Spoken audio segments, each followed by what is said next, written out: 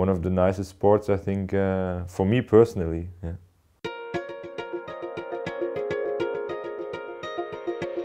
I'm addicted to winning. It helps you every day with your motivation.